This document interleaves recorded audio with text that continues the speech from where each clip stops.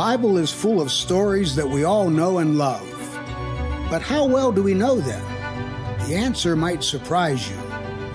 The Bible you thought you knew is going to dive deep into the exquisite details of the biblical stories that make them fascinating and transforming. This week's podcast is going to be a question and answer session.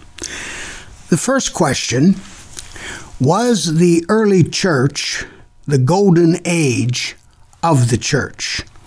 Now, this is a question that really should be addressed by a church historian rather than a biblical scholar.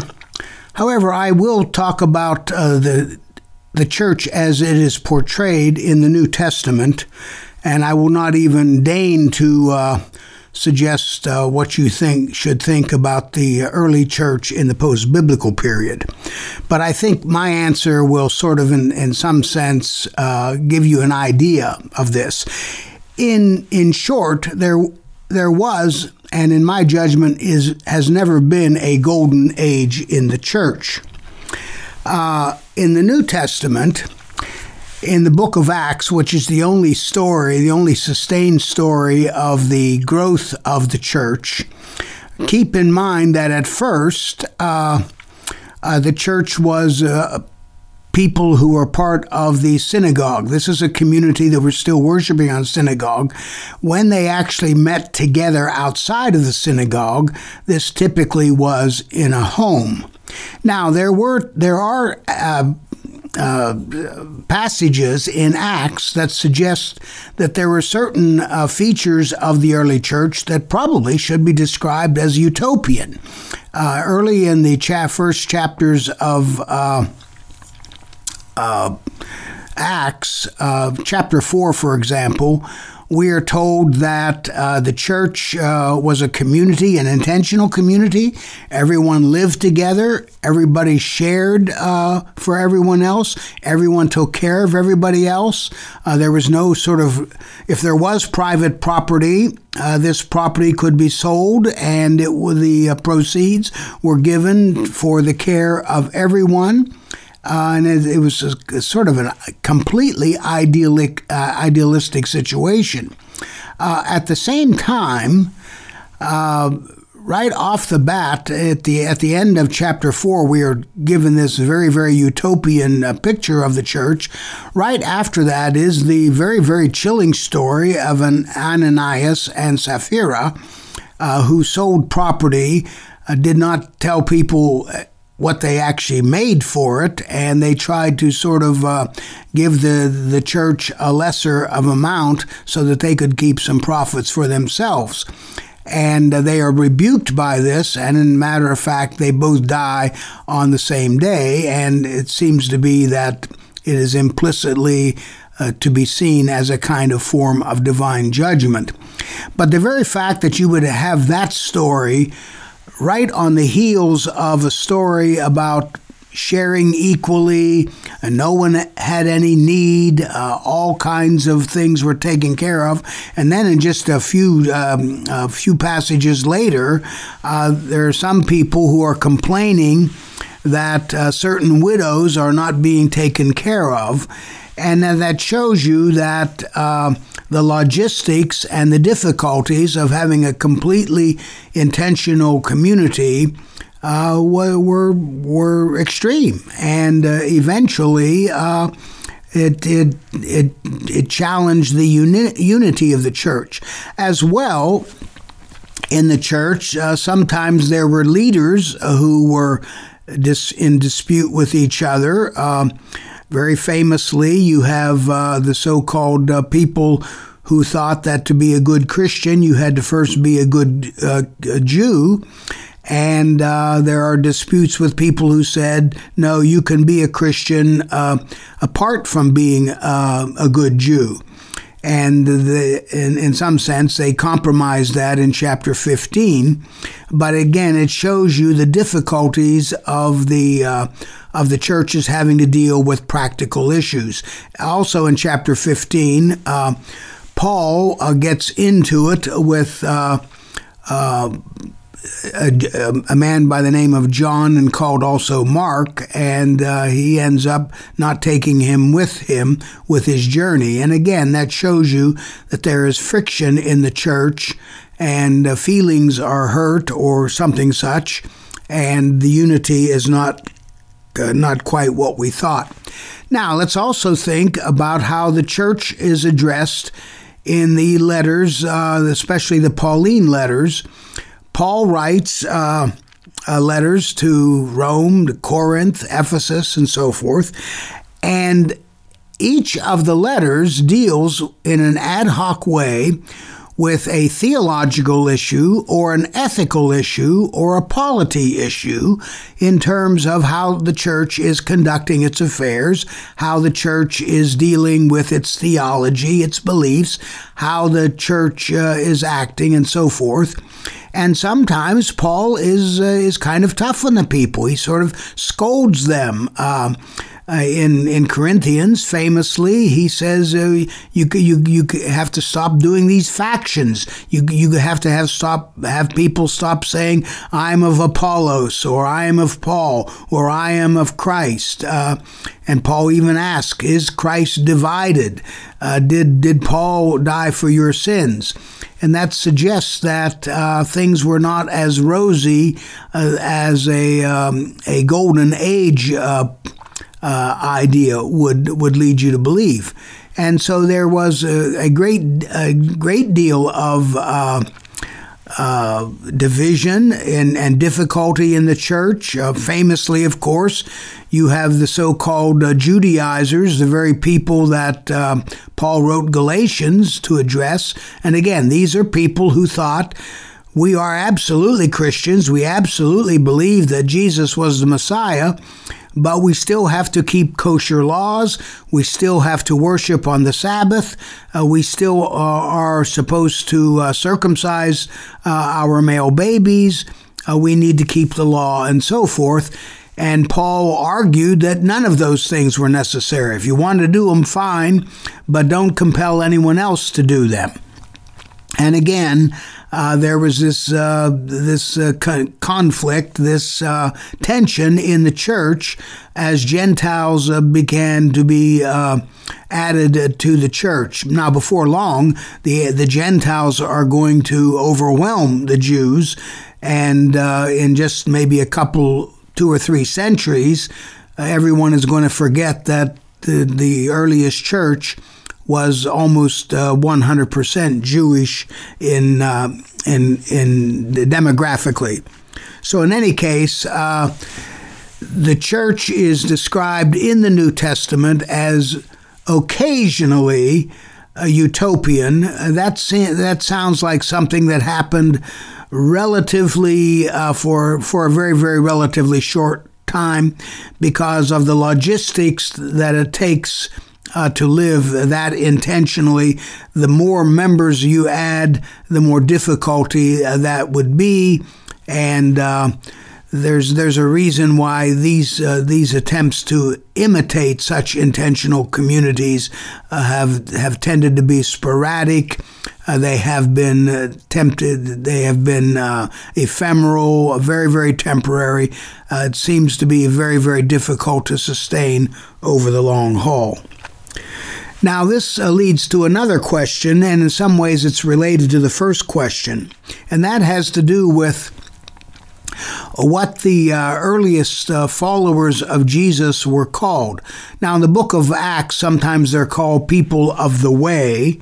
Uh, there's only a couple of times in the New Testament where the word Christian is actually used. It is first used in Antioch, uh, according to the book of Acts. But here's what's interesting to me.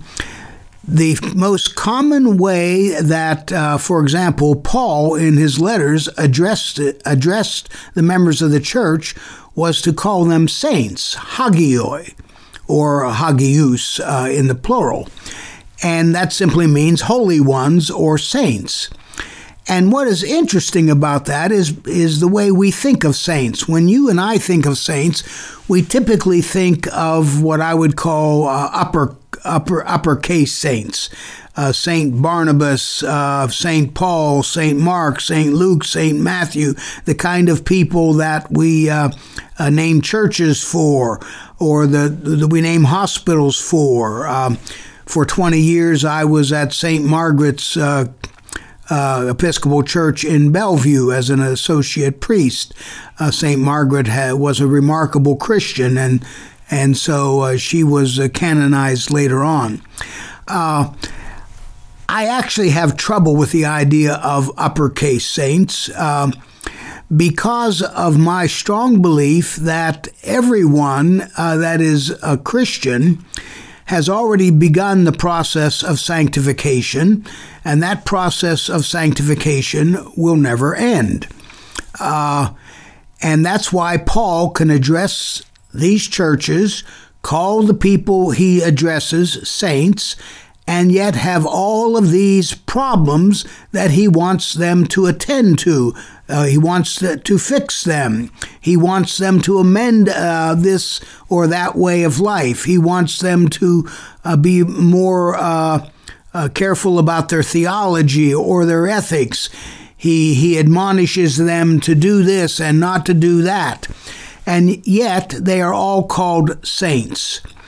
And the problem with the upper class saints is that leads us to believe, well, that's that's for a different category of Christian. I'm just an ordinary Christian.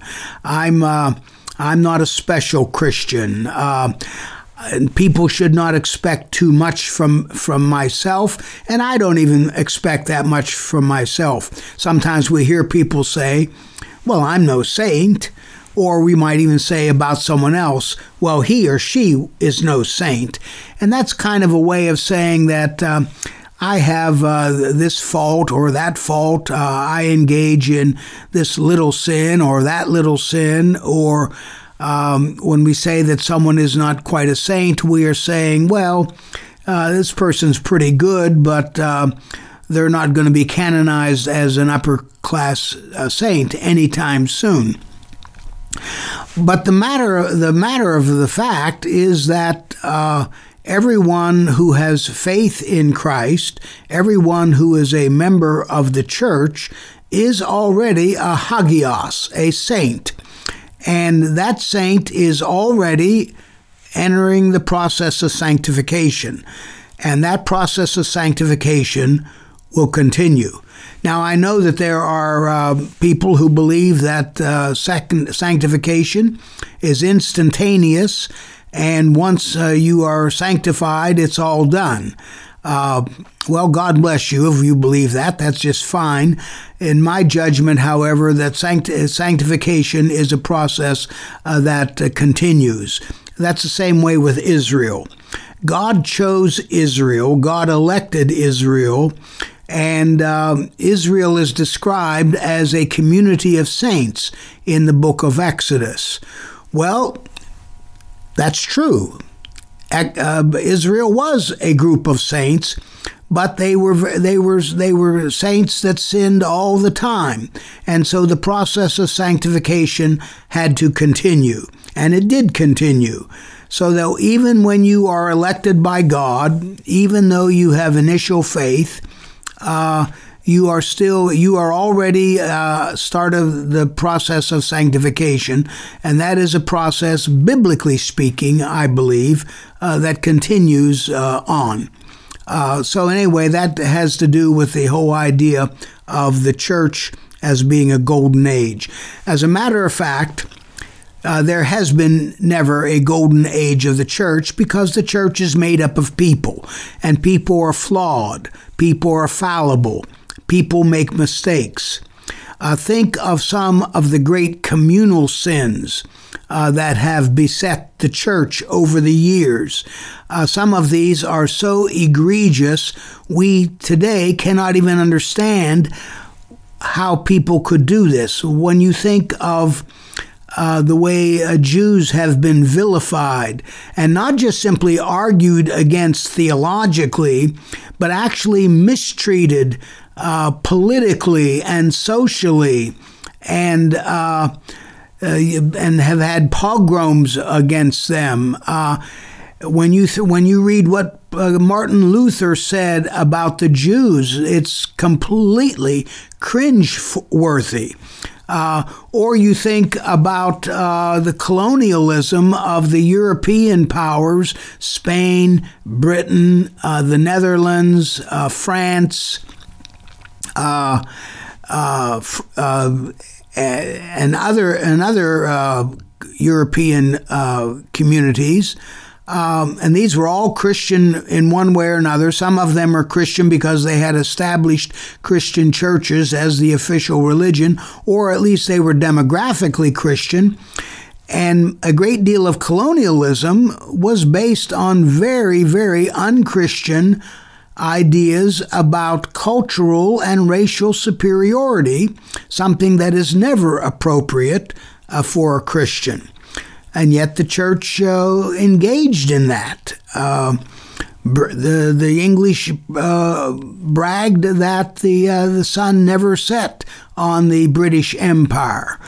Well, the the people who were colonized uh, might have had a very very different view of the advantages of being colonized. Uh, and again, this was an activity in which Christians were engaged or the, the whole issue of slavery, uh, or in America, the, the, Civil War that was fought to uh, protect slavery, or the Jim Crow laws that uh, were developed after the Civil War uh, to oppress black people.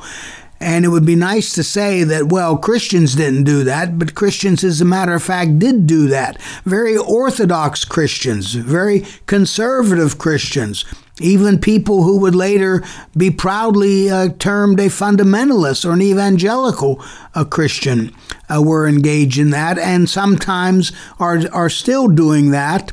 And depending on who you ask, uh, have not even uh, come close to getting rid of this uh, outrageous form of racism. So, given the fact that the church is sanctified, but always in the process of sanctification, should give us pause about viewing any particular period as the golden age. I think the reformers once said that uh, the church is be, is reformed and should always subject itself to reforming, which is sort of the uh, the idea that I am uh, arguing about here. So, in any case, two questions what was, was the early church and golden age? And the answer is no. And the second uh, question related to it is that uh, we are all lower case saints, and we should be very, very grateful to God for that. Uh, we are in the process of sanctification and uh, continue in that process uh, with God's help. So, We'll, we'll do another question and answer uh, session um, uh, soon. For now, let me uh, encourage you to go to my website, faspina.com. Let me know what your email is so that I can contact you when the time is right. And uh, also, if you have a, another question that you would ask, want me to address in a future Q and A session, email me at fspina106 at gmail.com. Thank you. I want to thank you so very much for listening to The Bible You Thought You Knew. I have a question for you. Do you have a question or topic that you'd like me to cover on the podcast? If so, all you need to do is head over to Apple Podcasts and do two simple things. One, leave a rating and review telling me what you think of the podcast. Two, in that review, ask anything you want related to the Bible. That's all you have to do. Then, listen in to hear your question answered on a future episode. Join us next time on The Bible You Thought You Knew when we discuss Jesus' personal Bible. God bless.